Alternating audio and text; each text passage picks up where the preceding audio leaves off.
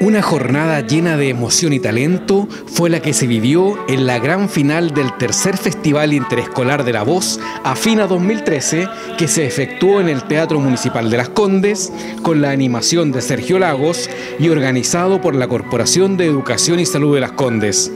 Este año, por primera vez, además de los colegios de Las Condes, el Festival AFINA contó con la participación de alumnos de colegios de Vitacura y fueron 15 los competidores, solistas y grupos vocales, los que ganaron el derecho a competir en esta gran final.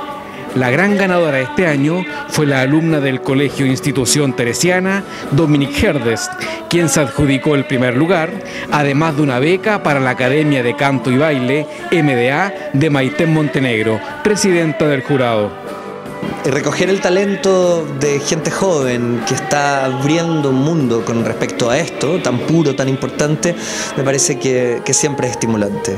La música es un, camino de, muchos riesgos, pero no hay que tenerle miedo ni a la vida ni, ni a las dificultades. ¿no? Me parece realmente extraordinario que se hagan este tipo de eventos en que se motiva a la juventud.